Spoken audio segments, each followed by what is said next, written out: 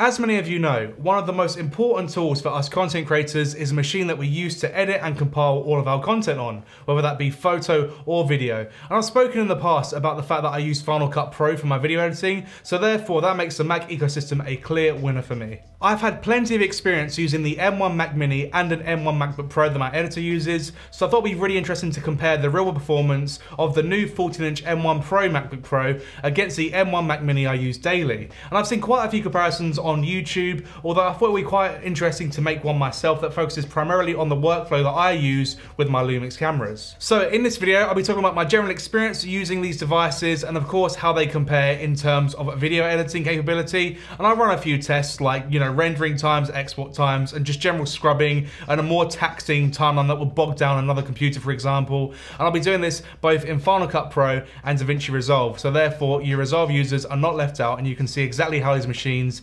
handle the NLE of your choice. So yeah, let's just get into it. Okay, so before we get into the performance of these two machines, I'll quickly start by listing the specs of both the laptop and the Mac Mini for some context as to what I'm working with. So the Mac Mini has 16 gigabytes of unified memory and 512 gigabytes of internal storage with the standard M1 chip inside. And then the M1 Pro MacBook Pro has the same 16 gigabytes of unified memory, but with one terabyte of internal storage, and of course the newer M1 Pro chip inside. My first impressions with the new MacBook Pro have been absolutely fantastic. And the most noticeable improvement for me is definitely the new ProMotion displays that all these machines ship with.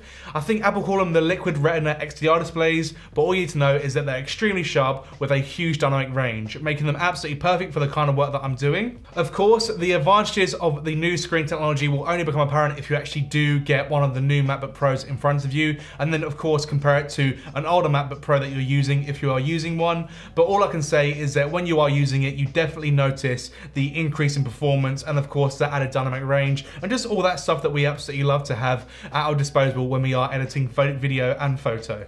And of course, being pro machines, there is a big expectation on the performance that they deliver. And I must say that I wasn't completely blown away by the performance of this laptop when comparing it to the M1 Mac Mini that I use daily. I mean, the performance is incredible, but I didn't really notice a huge jump in performance off the bat. And it does feel slightly smoother when I am scrubbing through 4K or 6K media on my timeline in Final Cut, but I've never personally experienced much lagging with my M1 Mac Mini. Okay, so now it's actually onto the performance of these machines. And what I'm gonna do is I'm gonna compare all three of these machines. So the M1 Pro MacBook Pro, the standard M1 MacBook Pro that my editor uses, and the M1 Mac Mini that I use on a daily basis. And what we'll do is we're gonna do a quick test in Final Cut Pro to start off with, um, just an export test on a 4K timeline that has a bunch of 4K footage, all shot with the internal codecs of the Lumix S5, um, stacked up on top of each other, as well as a few multicams on that stacked 4K stuff as well. So there's quite a lot of stuff going going on in this project, color grading, and of course music running in the background. And what we'll do now is I'll just show you real, real quick the comparison in terms of the export time. So here we go. So something that I didn't notice whilst doing this test is that none of the machines were actually jumping ahead from the other ones, if you like. Like they all stayed pretty level pegging when they were performing this export test on the same timeline. And you'll see now what the results are. But I think it's quite shocking that how, you know, sort of close they all are. Okay, so as you can see here, the M1 Pro MacBook Pro finishes the export test at 1 minute 32 seconds, and then the M1 Mac Mini finishes it just afterwards at 1 minute 37 seconds, and then the M1 MacBook Pro does it in 1 minute 40 seconds. So we're talking a 5 second discrepancy between the M1 Mac Mini and the new M1 Pro MacBook Pro. And to be honest, 5 seconds is really not that much time. Um, it's not detrimental to my life or my editing or my workflow. So therefore, I don't think that you're going to have too much difference when it comes to exporting quite heavy timelines. Um, therefore, that sort of makes the M1 Mac Mini, in my opinion, the winner considering the price point.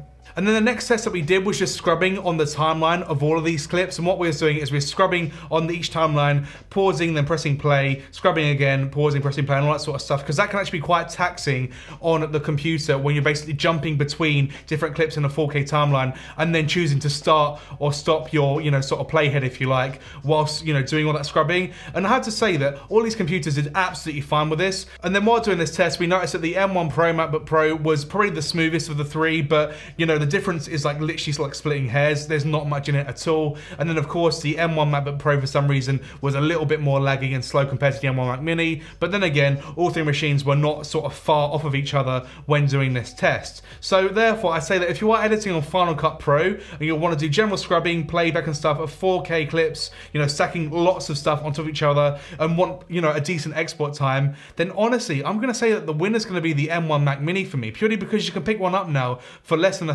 thousand pounds. And I mean, I've had this one now, you know, since it came out in 2020, so for two years, and it's still the main machine that I use. So if you're a Final Cut Pro user, go ahead and get the M1 Mac Mini. But of course, if you do want a, uh, you know, like an upstate MacBook Pro or something that's a bit more portable, then the M1 Pro will probably be the best shout. So yeah, that's my takeaway for Final Cut Pro.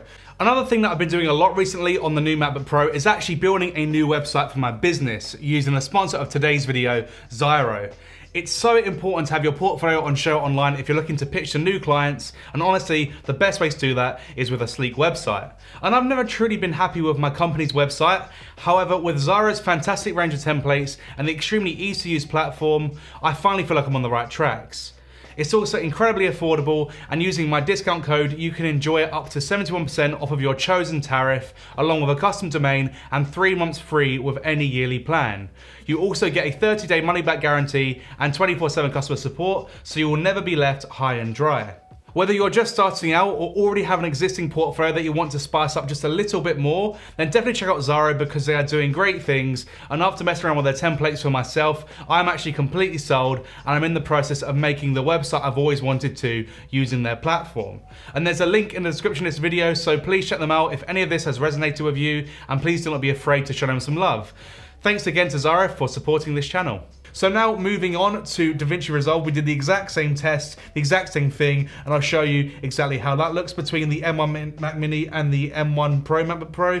We didn't actually use the M1 MacBook Pro for the DaVinci Resolve test purely because my license only covers two machines, and those are the machines that I've got a license to. So when editing inside of Resolve on the M1 Pro MacBook Pro, I've got to say that the actual experience was actually really nice. Um, you could very, very easily and comfortably scrub on a 4K timeline of colored clips that had already been processed inside the color tab. And you could go back, you know, sort of scrubbing, playing, pausing, all that sort of stuff with minimal drop frames and quite smooth playback, even at your full resolution. So that's actually really nice. And almost the same can be said for the M1 Mac Mini with the fact that there was actually a little bit more lagging and stuff on that same timeline with all the coloring and all that sort of stuff. But when you drop that down to half resolution, that clears up completely and it's really, really smooth. So the M1 Pro was definitely better inside of Resolve. And by the way, using the new Resolve Resolve 18 that's meant to be optimized for the new Apple Silicon chips. So yeah, I mean, the M1 Pro for me was the better option, um, you know, sort of computer if you are using Resolve. But then again, the M1 Mac Mini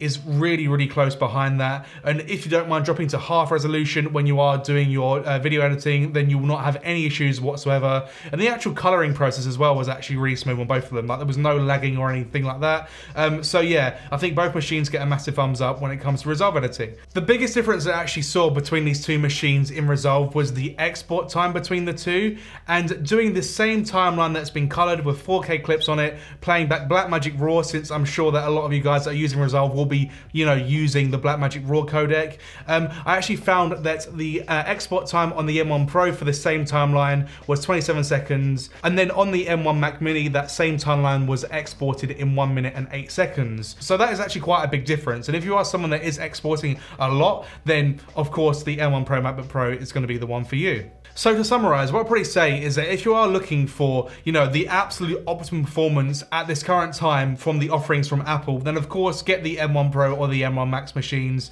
They're obviously going to be slightly better than the original M1 machines. But then again, if you are someone that's trying to conserve your money a little bit more or wants to sort of split that budget that you do have, you know, to new lenses or potentially something else that could benefit what you're doing and your business, then I definitely recommend taking that route down. So of course, I do actually have the Mac Mini and I do own the M1 Pro MacBook Pro, and I spent about two and a half grand on this laptop. And if I'm being brutally honest with you guys, I rarely use it. Like I'm using the M1 Mac Mini so much more for my day-to-day -day editing, purely because I like plugging in a nice big 4K IPS display like this LG one that I use all the time. And editing on a laptop for me in clamshell mode at home feels like I'm just destroying the battery. So it only really gets used if I want to sit, you know, down in the front room and edit there, or if I am out on and about, like I said earlier.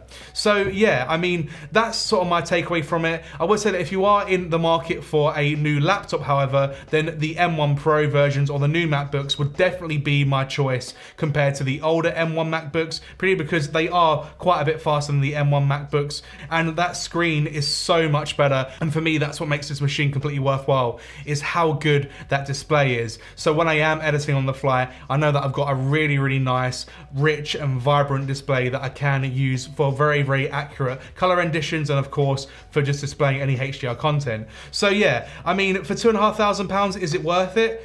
Yes, I would say it is, but no if you're looking for performance at home. Like if you're going for home performance, then just get the M1 Mac Mini for like less than a thousand pounds, or you know when you upgrade it to the 60 gigabytes unified memory, I think comes in a little bit more expensive than that. But yeah, for around the sort of thousand pound price point here in the UK, you seriously cannot go wrong with the M1 Mac Mini. And like I said, I've been using this machine now for two years, ever since it came out for my day-to-day -day editing, and I do a lot of editing every single day, and this machine still hasn't let me down. So yeah, hopefully this video was somewhat useful to you guys. I don't know whether it was. It feels like it was a bit all in the air, you know, me recording it, I feel like it was everywhere. But yeah, hopefully it actually becomes a concise and easy to follow video. So yeah, hopefully you enjoyed this video. Hopefully it was interesting and informative. And if it was, then please consider subscribing because I do make a lot of content here surrounding, you know, Panasonic cameras, um, you know, video editing, all that sort of stuff. So if that's your vibe, then this channel will be for you. And yeah, hopefully I shall see you in the next one.